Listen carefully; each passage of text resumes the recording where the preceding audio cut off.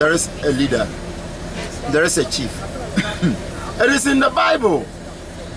When you read the book of Ex, uh, um, Leviticus, what happened? When Jethro, who was Moses' father-in-law, came and visited Moses after they crossed the, uh, uh, the Red Sea, he told him that he saw Moses I mean, talking to the people, always talking to the people, all doing this, doing that, judging them.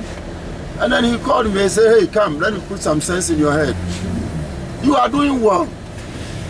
I like what you are doing, but these people will wear you out. As a result of that, have them in thousands, one leader, hundred, one leader, twenty, one leader, just one leader. And let them judge. Whatever they cannot judge, then they will bring it to you to solve it for them. And that was a brilliant thing that I really love that. And then uh, as a result of that, now we have the judicial system. So he really brought the judicial system into the world. You cannot disregard your mother-in-law, your father-in-law, whatever. He listened to him. He was his mentor. And that was very good. So over here, the traditional leaders, they also have advisors that they listen to. And in every area, there is a chief. Any problem that comes, is the one who is supposed to take care of. I'm sure today we might see a community chief. I'm sure we might see a community chief. And in our tradition, every chief has a rank.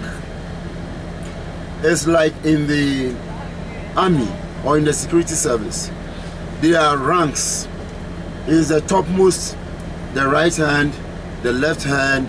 When you come down there, there's even those who carry their stool, they are all chiefs.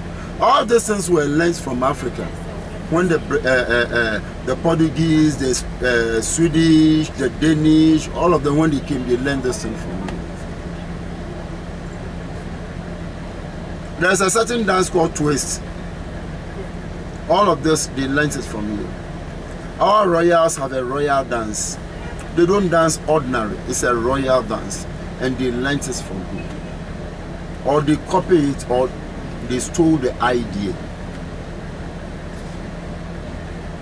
So this place is known as Cape Coast. Hmm. Come.